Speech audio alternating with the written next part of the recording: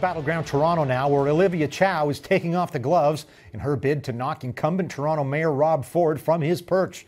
Our friend and political strategist Lisa Kirbie joins us now. And uh, Lisa, great to see you. And we're going to hear this the a new ad that has debuted in just a second.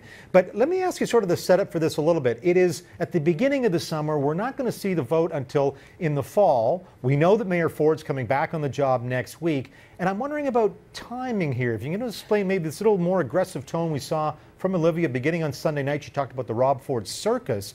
Do we take it as is she worried? Is she seeing some polling numbers that says she needs to do a little more attacking the incumbent?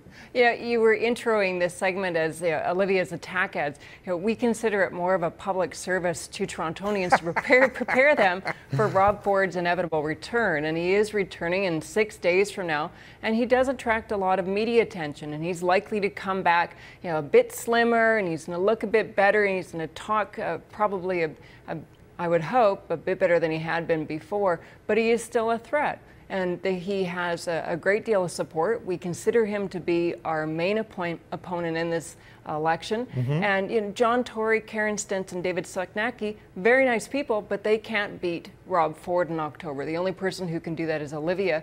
And these ads are kind of a, you know, a cheeky way to remind everyone that he's coming back. And I just want to point out he's coming back after uh, World Pride wraps up here in Toronto. So again, he missing. can't embarrass you on that one, right? yeah, well, but again, he'll do anything possible not to show up for the Pride Parade, and we've seen that for years now. But he is coming back on Monday, and we expect it'll be Rob Ford all the time.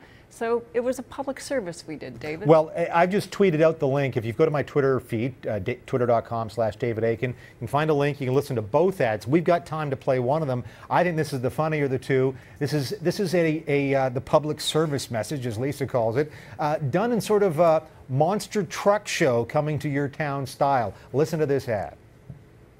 It's back! The most distracting show on earth is returning to Toronto! Toronto! Rob Ford! Rob Ford! Incredible errors in judgment! Billion dollar budget lies! Watch him drag your city's reputation through the mud! See Big John Tory in incredible flip-flopping action! So brace yourself for one Rob Ford summer! And remember that this fall, you can vote for Olivia Chow and put Rob Ford behind us for good. I'm Olivia Chow. I can beat Rob Ford, and I endorse this message.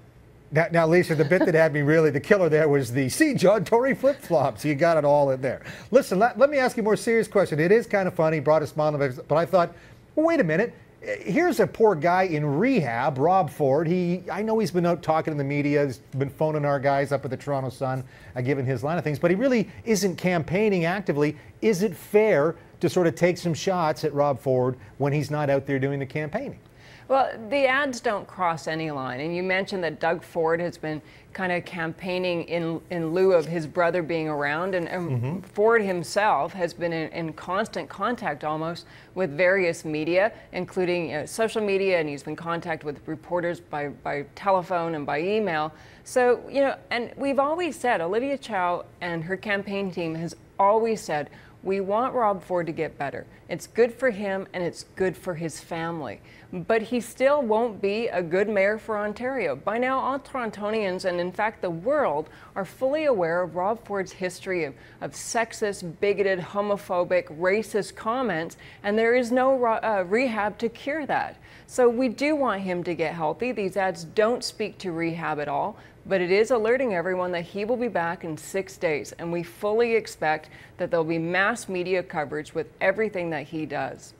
Now, I think you may be right. Lisa Kirbie, let's make sure you're back in next week when Rob Ford comes to town. All right. Thank you so much for this. You're welcome.